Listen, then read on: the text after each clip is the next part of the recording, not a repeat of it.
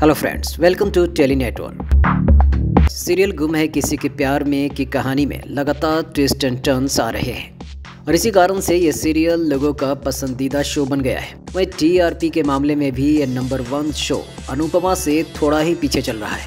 वहीं अगर शो के करंट ट्रैक की बात करें तो कहानी में विनायक और सवी के माता पिता को लेकर सस्पेंस बना हुआ है। और कहानी एक बार फिर से काफ़ी रोमांचक और धमाकेदार मोड़ पर आ खड़ी हुई है।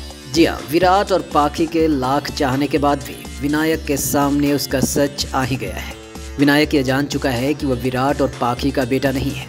जी हाँ शो में यह दिखाया गया कि विनायक अपने पिता से काफ़ी नाराज़ है। विनायक खुद को अपने कमरे में बंद भी कर लेता है।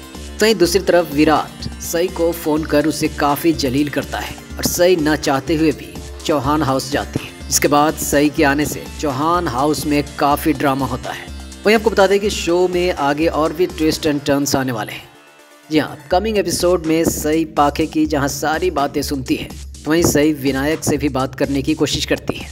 सई विनायक को यह समझाने की कोशिश करती है कि पाखी और विराट ही उसके माता पिता है, और सई की ये सारी बातें विनायक काफ़ी शांति से सुनता है। तो वहीं विराट और पाखी विनायक को अपने गले लगाते हैं। जबकि दूसरी तरफ़ विनायक सभी से बात करता है। सभी कहती है कि वो भी अपने पिता को तलाश करना चाहती है और इसके बाद सवी और विराट अपने माता पिता की तलाश में घर से बाहर निकल जाते हैं। लेकिन रास्ते में ही कुछ गुंडे विनायक और सवी को किडनैप कर लेते हैं।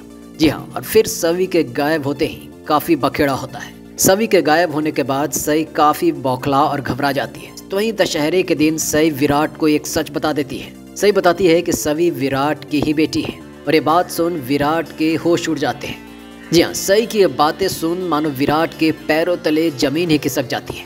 और इसके बाद फिर विराट और सई दोनों मिलकर अपने बच्चों की तलाश करते हैं।